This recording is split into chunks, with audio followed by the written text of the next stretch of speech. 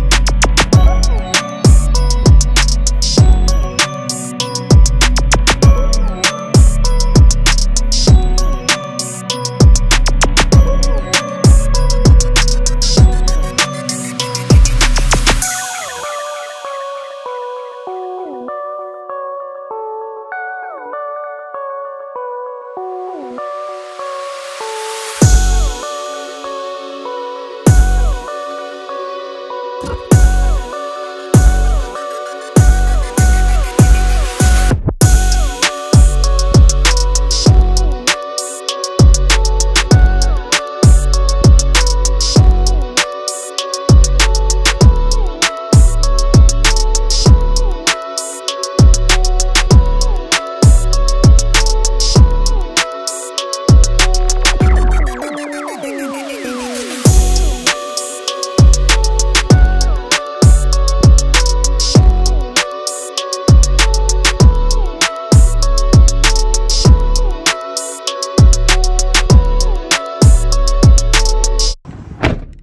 Okay, and just like that, we got a toilet repair done. The lady was noticing that water was dripping on the 90 degree elbow, also called the vertical leg of the water closet. Just want to show you what this bad boy is. This is called a repair kit. Now, what I had noticed was when I took the toilet off initially, there was a little bit of water around the top of the gasket. Now, the thing is, is that could have been because of the removal of the toilet, maybe some water was dripping that way. My suspicion is, is that the gasket wasn't fully sealing, in other words. So when I took the gasket off, I noticed that the flange was a little bit low compared to the tile. Normally the flange is supposed to be flush with the tile. So you have a couple of options. The first option is, is you get a one inch gasket, which is what the previous plumber did. By the way, the repair took place about a year ago and it's already showing signs of leaking. So what I decided to do was instead of use a large gasket like they already had, I was gonna take this repair kit and just stack them on top of each other until they come at least, at minimum, flush with the floor. You don't want it to be higher than the floor either because you run into other issues as well. Your smallest gasket might be too thick and you might have a wobbly toilet because of that. So I got lucky. I put a couple of these repair kits. I stacked them one on top of the other and then I put in a three quarter inch gasket